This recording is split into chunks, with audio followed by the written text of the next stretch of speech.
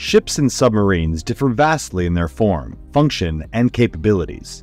Among the notable distinctions, ships are larger, possess a greater capacity to carry cargo, can host and launch impressive weapon systems, and are generally the preference in many applications over submarines.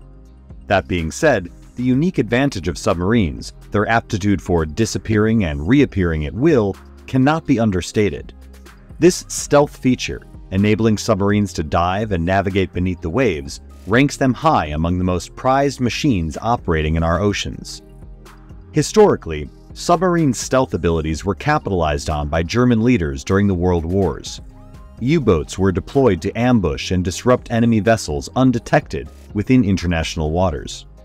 At that time, submarines were virtually invisible under the waves to both military and commercial ships.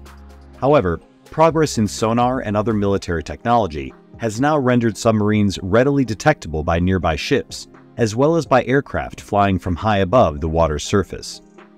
There are several methods for identifying submarines underwater. In this video, we will focus on the procedure most frequently employed by military aircraft to detect and verify the presence of a submarine. The primary method for airborne anti-submarine warfare is sonar, or sound navigation and ranging, a technique that uses sound waves to detect and locate objects. The physical embodiment of the sonar principle is a unique device known as a sonobuoy, a portable sonar system deployable by aircraft or ships that is designed to detect submarines and perform underwater research. An aircraft carries the sonobuoys packed in canisters and ejects them over specified regions of water. Depending on the mission, there are three main types of sonobuoys active, passive, and special purpose.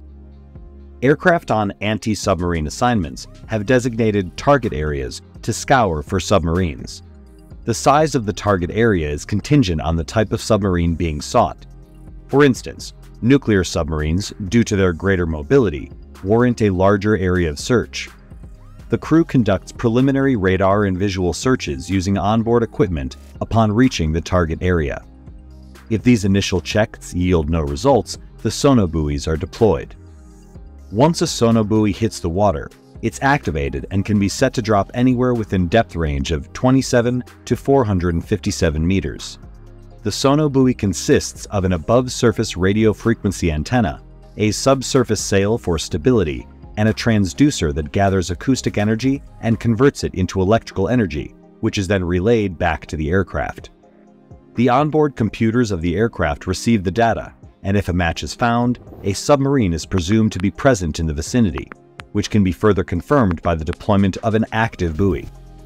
This buoy emits sound waves that, if bounced back from a submarine nearby, both confirm the submarine's presence and estimate its underwater location, Submarines may also be detected by other means, such as magnetic anomaly detection, which is a complementary method to the work done by sonobuoys. Nonetheless, for ascertaining the presence of enemy submarines, sonobuoys remain the preferred tool for navies worldwide.